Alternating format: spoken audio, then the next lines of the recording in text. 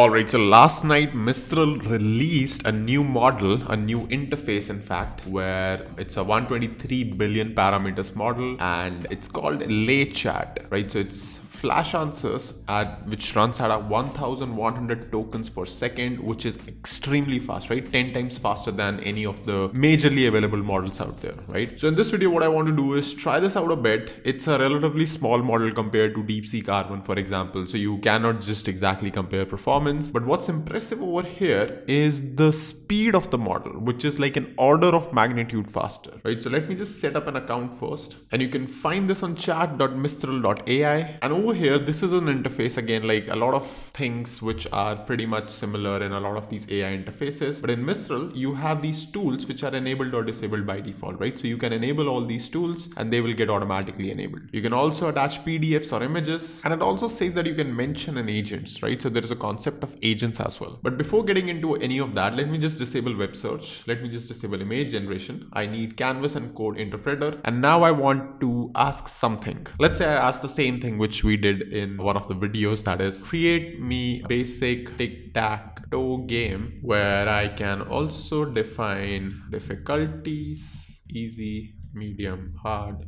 and play with CPU. Fairly straightforward prompt. I'm leaving up to it what technologies it wants to use, whether it's React or any other thing. But you can see how, how fast it did the whole thing, right? So it used Python in this specific example. I can ask it, can you create a React JS app for me and if I ask it this and hit enter. So you can see it's extremely fast right? So it just gives you the whole message like you're making an API call and getting the full response. What I'm more interested in however is how to trigger this canvas. Okay so I just literally asked it that can you use canvas tool? And it just shifted the whole thing on canvas which is awesome right? So over here you can see the easy mode is easy. Let me just try out the hard mode once. So let's see.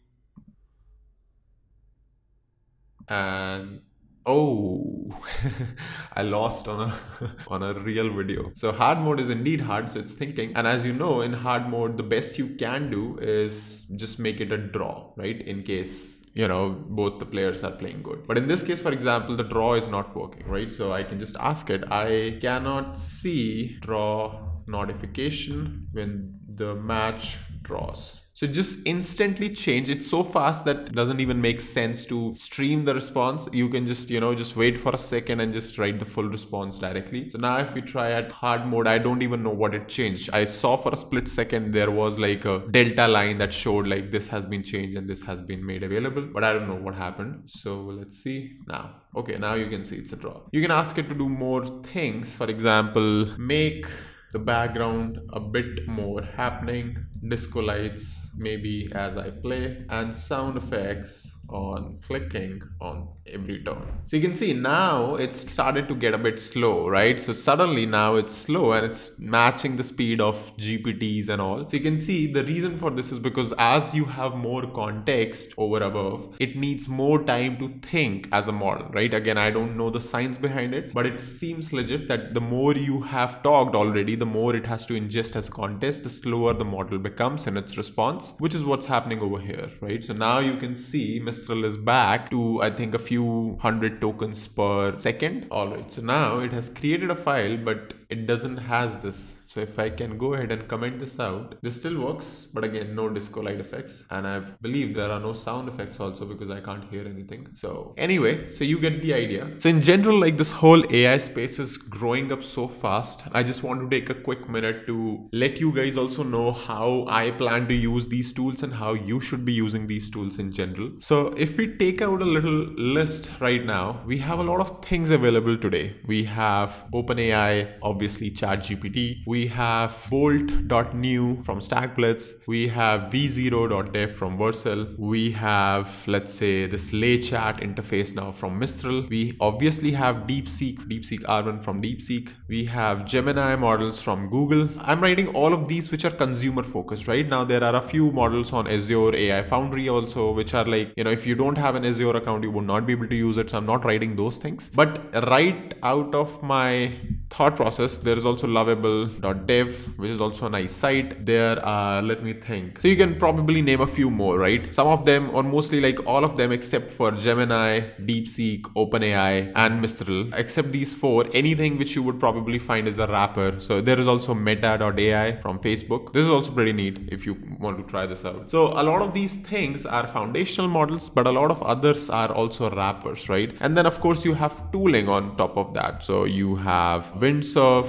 you have cursor you have 100 different things you can do now with ai so a lot of these things are existing now in the market and this will continue to keep on increasing right? So what you have to do as a person as a developer as somebody who's learning is probably pick the best ones in the market. And at the moment i would say that's deepseek r1 and openai. If you can afford to pay for them pay for them right? So if you can afford to pay for chatgpt pro do that if you can do it for ChatGPT Plus. I forget like which one is $20 and $200. So I'm talking about the $20 one. If you can pay for $200 also, that's great. You will unlock a lot of more state of the art AI. DeepSeek R1 is free to use, but it's like so popular now, so it's mostly down. Gemini, Google released a bunch of new models a couple of days back. So that's there. And a lot of these websites do provide you, I forgot, I almost forgot, you have the big thing, right? You have Anthropic, which brings in Claude. So Anthropic is also foundational model creates a foundational model. So a lot of these things, what you have to do is try to keep using these tools you can change the tools because the interfaces are pretty much the same across every tool now. There is a chat interface. There are things you can select you know files you can upload. So whatever works procedure you have the work pipeline you have that can be taken and put into any other tool what you have to realize is that all of these tools at a fundamental level work the best when you prompt them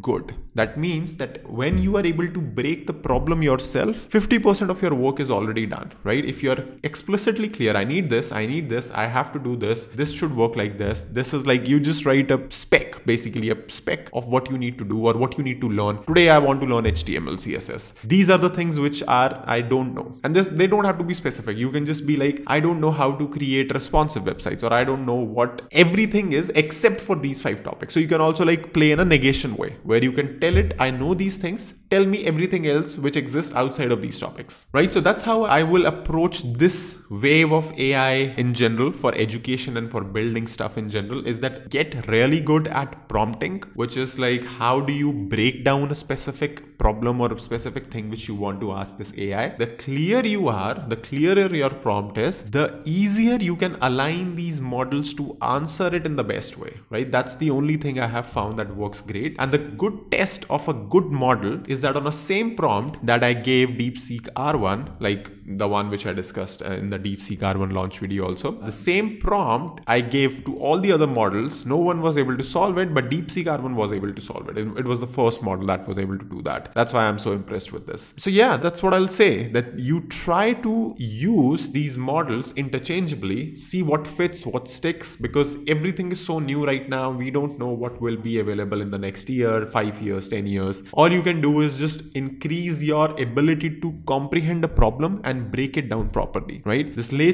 from Mistral AI is impressive because of its speed. But again, like I said, speed and these metrics and all of that don't really matter much. What really matters as at the very core is how good the model is at reasoning and thinking in general. And secondly, how good are you at prompting it, right? So that's that's where the real money is and real benefits are. That's all. That's pretty much it for this video. Hopefully you learned something new from this. If you did, make sure you leave a like and subscribe to the channel. I will see you in the next video very soon.